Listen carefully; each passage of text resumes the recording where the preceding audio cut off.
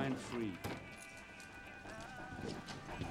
You know, look, uh, they have people who will walk your dog know. for you. I mean, I know it's a crazy Jerry, idea. I want to walk my own dog. Will you relax? You're starting to lose your hair. He's friendly. His name is Rufus. Hey, Rufus. So what are you listening to? The best of bread. Best of bread? Interesting. What's your name? Ty. Nice to meet you, Ty. I'm Chris.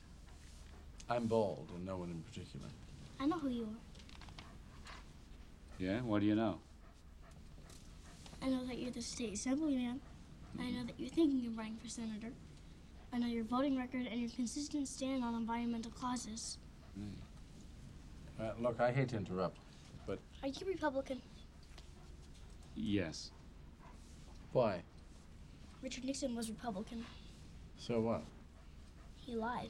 So what does that mean? Nothing. Who told you to ask these questions? Nobody.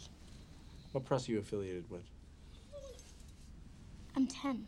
What about your parents? Are they Democrat or Republican? What's the difference these days? I love this kid. Oh, well, what's not to love? Um, where are you going? I'm gonna walk Rufus. What are you writing a book? In ten minutes, okay? One P. Mom says okay, can I come? What? If my mom says okay, can I come? Uh, sure. Where's your mom? Back on 22 Park Suite. Uh, no. You know what, Chris? You're in a hurry, okay? He doesn't have time. No, you know what? Uh, he's in a hurry. I'm fine.